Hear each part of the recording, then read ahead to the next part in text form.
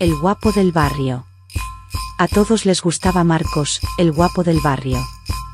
Tenía una sonrisa encantadora, un pelo rubio y unos ojos azules que hipnotizan.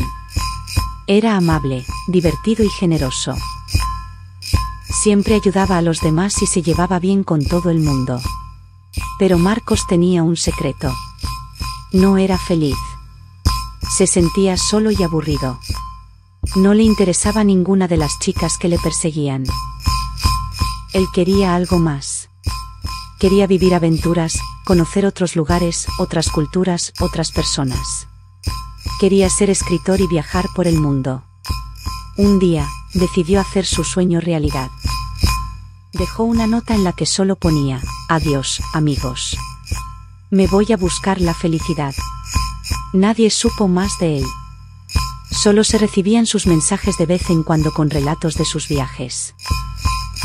Y todos se preguntaban si Marcos, el guapo del barrio, había encontrado la felicidad.